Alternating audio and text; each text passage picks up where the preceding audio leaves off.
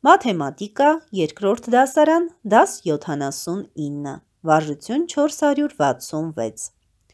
Կարդա գծապատկերում նշված 5-ի պատիկ թվերը, ասա նաև բաց թողածները։ 0, 5, 10, 15, 20, 25, 30, 35, 40, 45, 50, 55, 60 Վարժություն 467 Այգը կազմել է 5-ի բազմապատկման, իսկ անին 5-ի բաժանման աղյուսակը։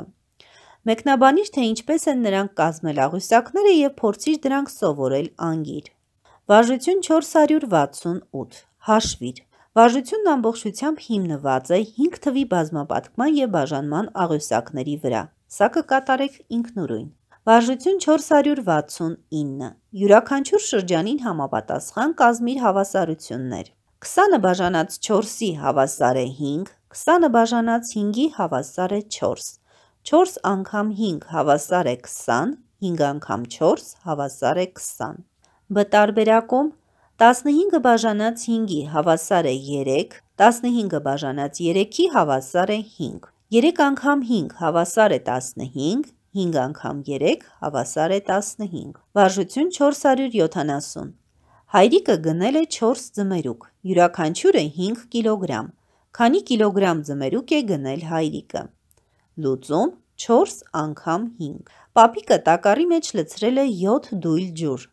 Դույլի տարողությունը 5 լիտր է, քանի լիտր ջուր է լցրել պապիկը տակառի մեջ։ Լուծում